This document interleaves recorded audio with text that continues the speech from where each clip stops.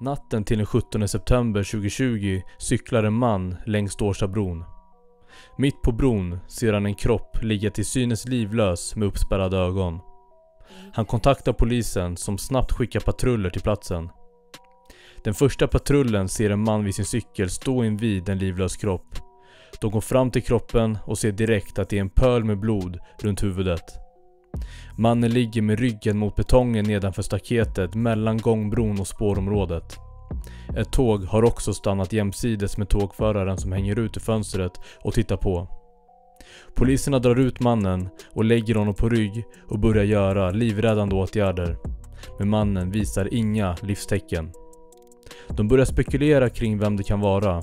Så de skickar en bild till polischatten och får svar från en kollega som spekulerar att det kan vara en Sasha Wiklund Dahlgärd.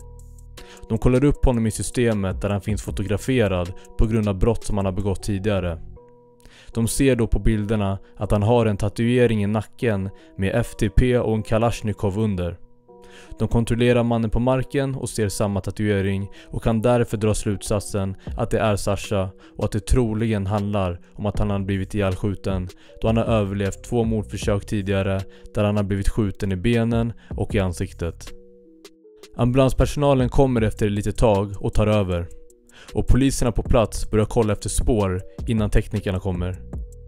De följer blodspår längs bron och hittar en patron. De kan inte hitta några tomhylsor än. Och vid 01.35 avslutas livräddningsförsöken och Sasha förklaras avliden och polisen utreder nu ett mord. Bland det första de gör är att säkra övervakningsfilmer från området och närliggande tågstationer. De börjar jobba efter information de fått från ett vittne som kom fram runt 02-tiden när poliserna jobbade på platsen. Och han berättade att han runt 00.30 hört ett par smällar och sett två män lämna bron och ta sig mot Årstaberg. En person hade mörk dunväst på sig och den andra hade en beige rock med röd luvtröja under. Två andra vittnen hade 10 minuter innan smällarna också cyklat och sett tre personer gå på bron. Brottspasstekniker kommer till platsen runt 03.30 för att delvis samla spår men också kunna få en bild av vad det som har hänt när Sasha mördades. Teknikerna går fram till Sashas kropp som är klädd i en svart jacka, en grå luvtröja, en långärmad tröja under samt grå mjukisar. Och mellan knäna ligger en keps. På höger sida ansikte finns koagulerat blod. Enligt teknikerna tidigt i utredningen så har skjutningen startat på Årstabron i området kring den iakttagna skadan i marken. I anslutningen till att skjutningen påbörjas hamnar en patron på marken och någon av de först avlossade kulorna träffar marken varvid den splittras upp i mindre fragment. Sasha, som har luva på sin luvtröja uppdragen över huvudet, får tidigt i händelseförloppet en skottskada i höger kind. Denna skada orsakas av en kula som passerar genom luvans högra kant från ett avstånd som bedöms vara närskott. Och med blödande skada tar sig Sasha i riktning mot Södermalm. Under denna sträcka blir han beskjuten i ryggen med tre skott varav två av kulorna stannar i kroppen och en kula passerar ut ur kroppen för att sedan anträffas längre bort på bron i riktning mot Södermalm.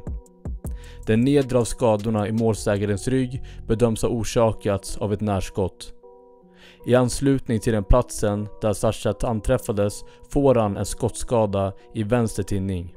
Skjutningarna genomförts med ett vapen och minst fem skott har avlossats och skottskadan i vänster tinning var direkt dödande. Och bredvid Sasha finns också två mobiltelefoner. En Nokia knapptelefon och en iPhone. Och de tar dessa för att gå igenom för att kartlägga vad han har gjort den sista tiden i livet och koppla ihop det med vad man senare kommer hitta i övervakningskamerorna. Det man vet efter att ha förhört systern var att han spenderade kvällen hos henne innan han tog sig ut. Och i sms-konversationer kan man se i vilket ärende han gick ut. Konversationen som Sasha har samma dag och kväll innan han mördas är med hans goda vän Toy. De pratar om egentligen allt möjligt som ni kan se i de här chattarna och det är väldigt vänskapligt.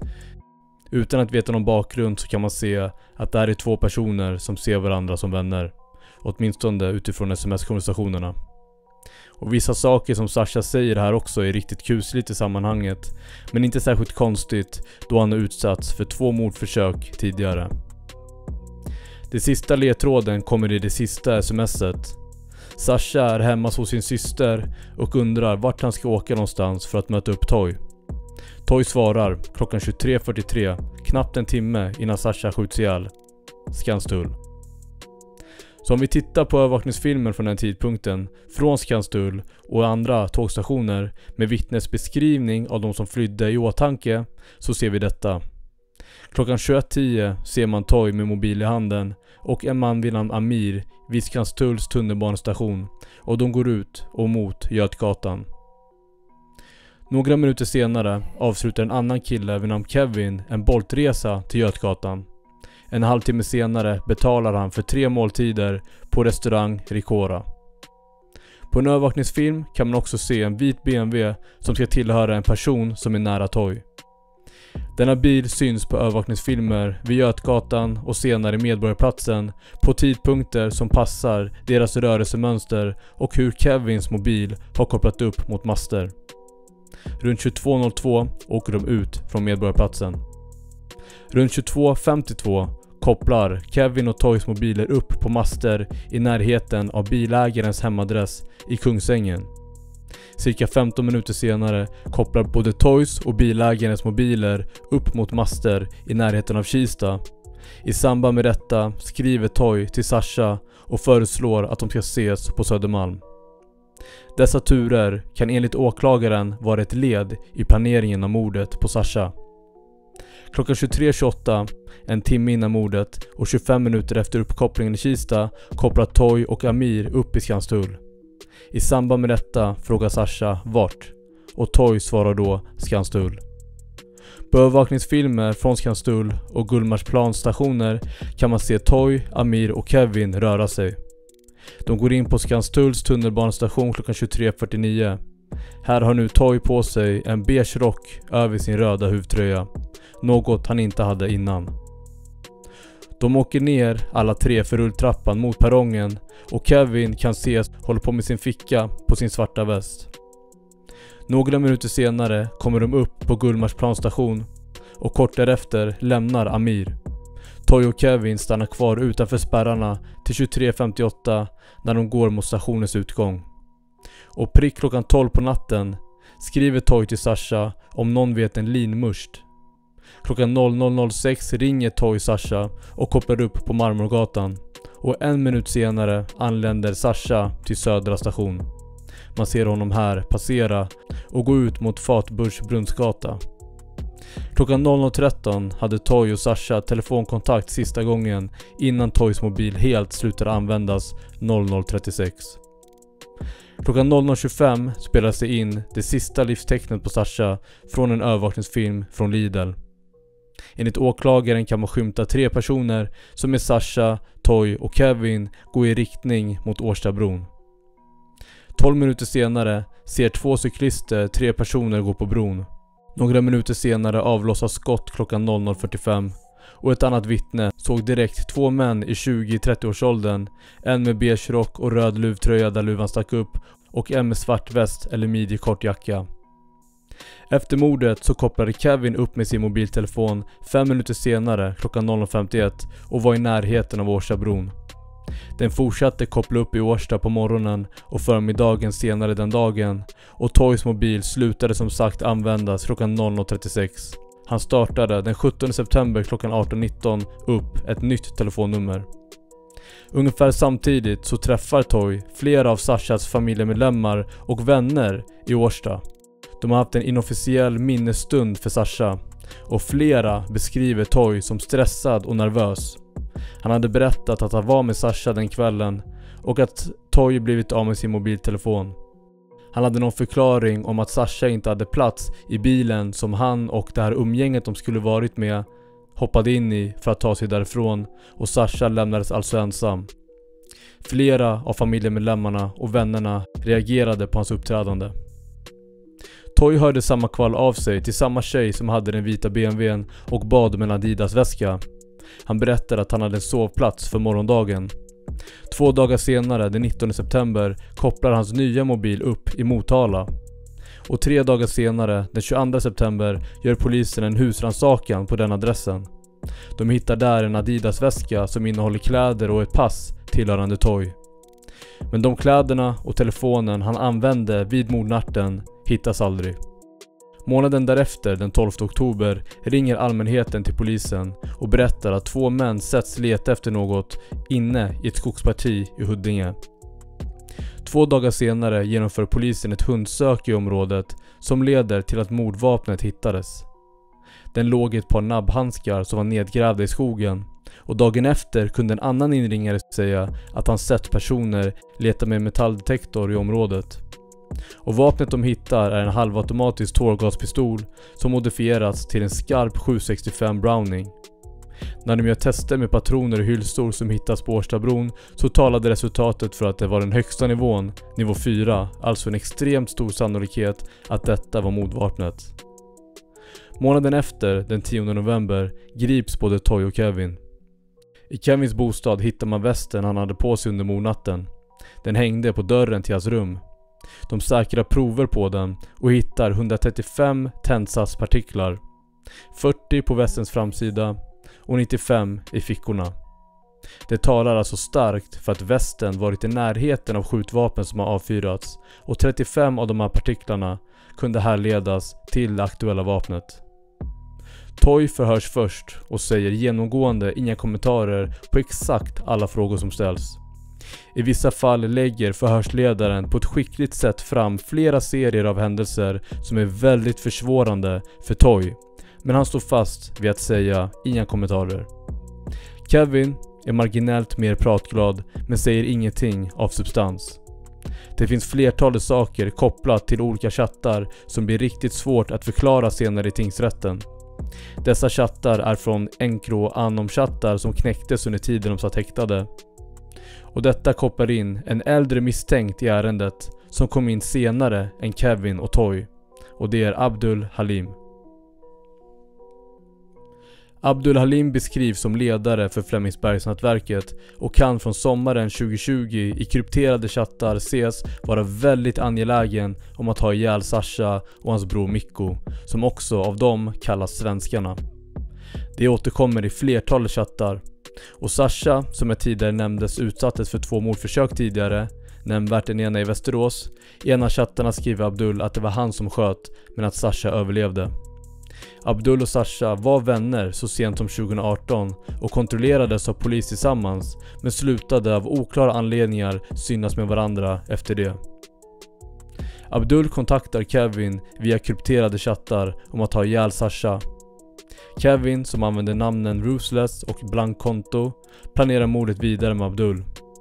Abdul är den som driver på mordet och han utlovar också betalning för att delvis få reda på var Sasha bor och för att ha ihjäl honom. Det återkommer flertalet gånger till någon som kallas T och att denna person ska vara den som vet var Sasha bor. Och inte bara det, också uppgifter om Sasha och kan få ut Sasha för att kunna ha ihjäl honom. Och denna T är alltså Toy. Det syns i chattar hur Kevin skriver till Abdul någon vecka innan mordet att de lyckats få ut Sasha och att Sasha verkar lita på dem. Den 17 september, direkt efter mordet, så skriver Kevin till Abdul att han är klar och att svensken är borta. Till detta så har det en liten period senare haft hemligt avlyssning hos gängledare i andra nätverk i andra ärenden där de faktiskt har talat om mordet på ett väldigt likt sätt som utredningen framgår. Årstabarnen ligger bakom mordet, de har gjort en fuling på Sasha och någon de kallar Lilla Kevin låg bakom. Och vidare till rättegången och domen som faller i tingsrätten den 19 januari 2022 så går tingsrätten helt och hållet på åklagarens åtal.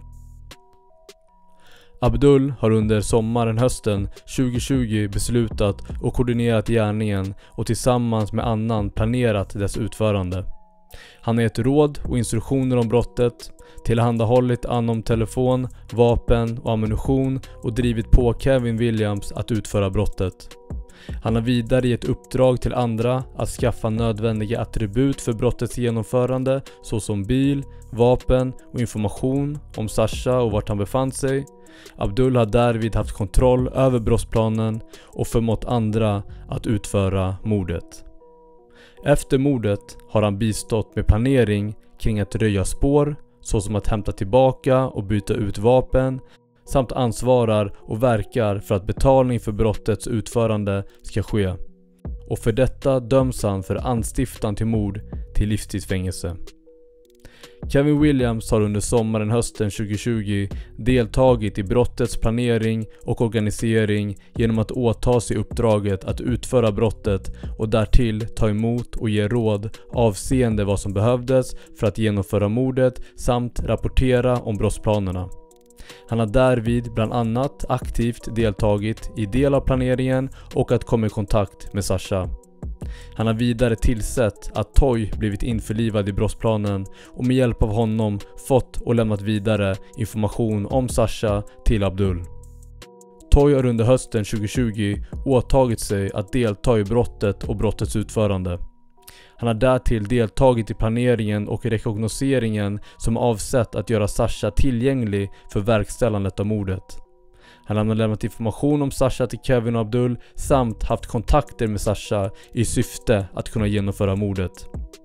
Kevin och Toy har under tiden den 16 och 17 september 2020 mötts upp, beväpnat sig med skjutvapen, rekognoserat inför gärningen samt haft upprepade kontakter med Sasha. De har förmått Sasha att mötas upp och därefter gått med honom ut på Årstabron där de på nära håll dödat honom genom att med pistol skjuta honom med flera skott i huvudet och kroppen. Skotten i huvudet har varit direkt dödande. Och för detta döms 20-åriga Kevin till 14 års fängelse för mord enligt en straffrabatt som rådde vid tiden för mordet och Toy döms till livstidsfängelse för mord. Domen överklagas i vanlig ordning till hovrätten men där sker inga ändringar utan hovrätten fastställer domen på alla tre och straffen består. Det här fallet är faktiskt extraordinärt till och med för de här kretsarna. In i kommentarsfältet, skriv vad ni tycker och tänker. Så som vanligt, ses vi nästa.